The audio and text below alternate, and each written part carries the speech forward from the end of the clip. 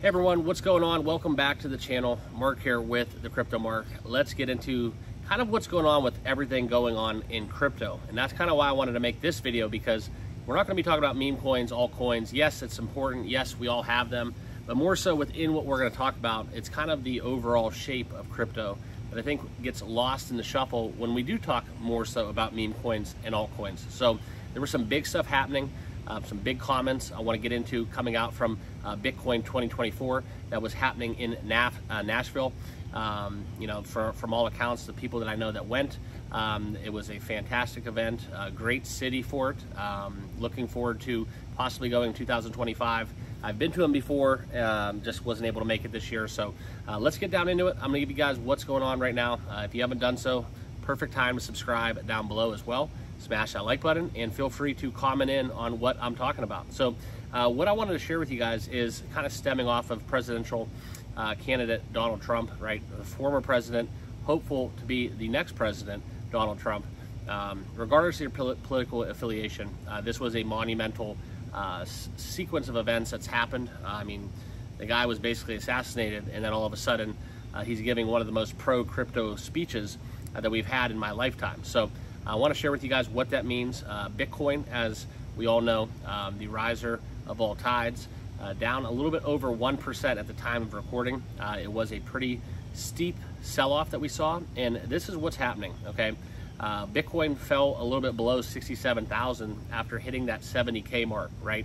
We all knew it would sell off within 70,000. That's a psychological barrier, uh, even if there was no negative sentiment going around. Uh, traders, uh, they're going to be taking profits. They're going to be trading uh, pretty actively around that 70K. Uh, we've done it. We've, we've, we've tried it once before, right?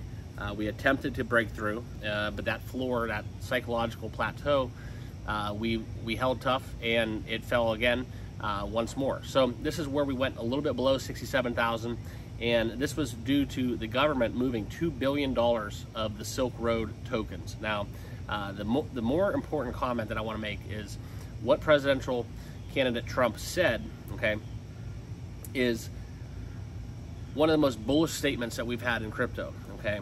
What he said was that, and what he plans to do is the actual quote was stacking Bitcoin, okay, if he's elected president, okay? So uh, you can see what's kind of happening within that. Um, this is something where he promises a strategic national Bitcoin stockpile if elected, uh, you could just see and connect the dots on how large that magnitude would be if that were to happen, okay?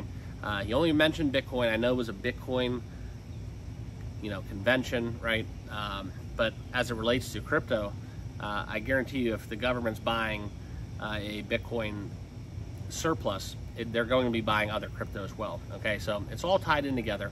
But more so when we talk about this, this downfall, this little downturn we're having, isn't necessarily related to those comments, but it's important because of the timeline, right? And we look into this, right? I think the number dating back to before these comments, Bitcoin held by the US government was around $12 billion in assets, okay? But now, as we see this, okay, this little one and a half or so, give or take, percent uh, decrease that we're having on the day uh, amidst these liquidations, the relevancy is that I think that a big move is happening for crypto in 2024. Okay, uh, if you guys were privileged enough and fortunate to get into some of the MAGA coins, um, even Jeo Boden, um, some of the Solana meme coins that uh, went absolutely parabolic with uh, kind of their run on the chart uh, within these these hopefuls. Okay, um, you know obviously Biden's out of the race, so I'm sure his meme coin has plummeted. Um, but we've been scooping them up, and they have been very, very healthy trades. Um, if you were able to get in early, as always. Uh, but that's something where, you know, it's not over with. We're going to keep our eyes out for more presidential meme coins uh, with this election. But I think the biggest story that we have right now is the what if, okay? Uh, forget the polls, forget all the data, forget if you vote Republican, if you vote Democrat.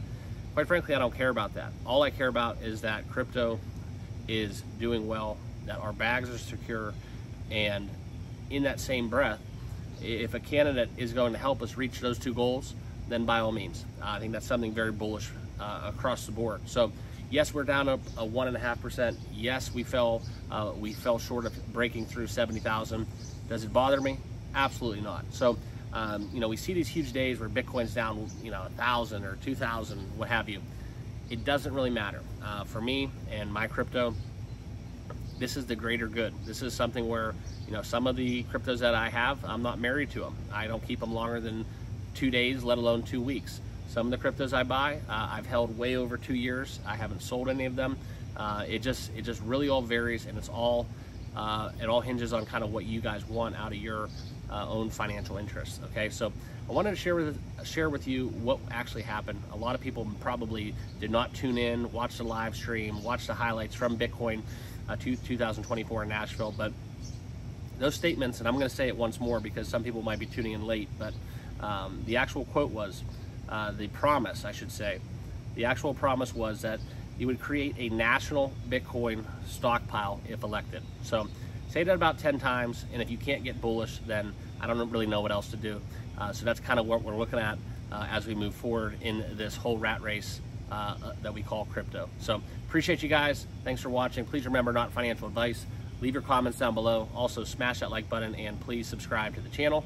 Uh, and I want to know what you guys all have to think about this. Um, the election, uh, Bitcoin breaking through 70K. And I think the most alarming thing about this all is if Bitcoin did bust through 70K, when would it, where would it stop? All right, that's kind of my question, number one. And number two, why are some of the alts not really following suit? That's the other question that I have. So um, thanks for watching. Uh, we'll be back tomorrow with more videos. Make sure you guys subscribe down below. See you guys in the next one.